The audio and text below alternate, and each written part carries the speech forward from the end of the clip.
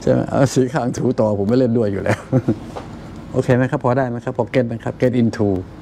เข้าใจเนาะพอประมาณกันเนี่ยพอเวลามันเล่าอะไรต่างๆให้ฟังมันผสมผสานกันนะก็เข้าสู่ในระบบธรรมชาติกันไปนะครับเพลินไม่ใช่เพลินนะครับ ผมมารู้เรื่องของธรรมชาติไม่ใช่อะไรครับ ก็พูดแต่เรื่องธรรมชาติ มนุษย์คือธรรมชาติใช่ไหมเนี่ยเรื่องธรรมชาติทั้งนั้นอันที่ว่าเนี่ยธรรมะคือธรรมชาติธรรมชาติคือธรรมะ ก็ได้อยู่แค่นั้นนะครับ แต่ลุงบอกว่าพระธรรมซ่อนอยู่ในธรรมชาตินานไปหน่อยพระธรรมซ่อนอยู่ในธรรมชาติ พระพุทธพระธรรมคำก็ว่า พระพุทธพระธรรม พระธรรมซ่อนอยู่ในธรรมชาติ และอยู่ cover ธรรมชาติอยู่พระธรรมสิ่งนั้นคือ PE นี่เอง จะมาจากคำว่า potential energy คือพลังงานศักดิ์ไม่ผิด แต่ลุงบอกว่า คือตรงนี้ครับลุง ลุงออก p u r e energy ครับ จ้าเห็นไหมครับลุงออกคือ pure energy นะจ๊ะ PE pure energy นะจ๊ะโอเคไหมครับ ชัดเนาะต้องแปลไหมเนี่ยแปลก็ได้ ลุงออกพลังงานบริสุทธิ์อีกบรรทัดกันยังได้ พลังงานบริสุทธิ์รักษามนุษย์ จบไหมเนี่ย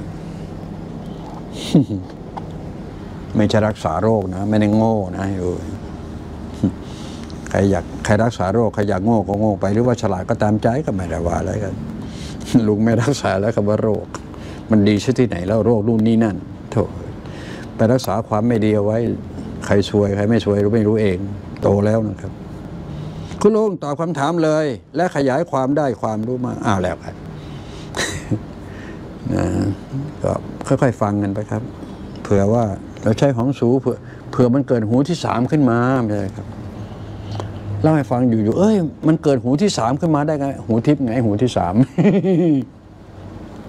ใช่ปะได้ไหมดูดูๆไปสองตา เอ้ย เกิดตาที่สามก็อะตาทิพย์ไง ตาที่สามเห็นไหมอ้าวฟังฟังๆไป เอ้ย เกิดมันได้ เอ้ย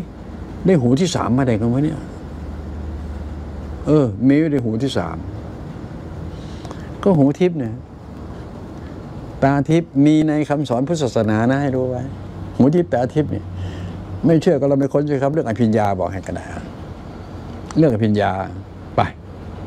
ได้ถามไหมเรื่องอภิญญาไปไปไปกดเลยฮะอภิญญาเดี๋ยวนี้ Google กดเลย อภิญญาเขาพูดถึงอะไรบ้าง นี่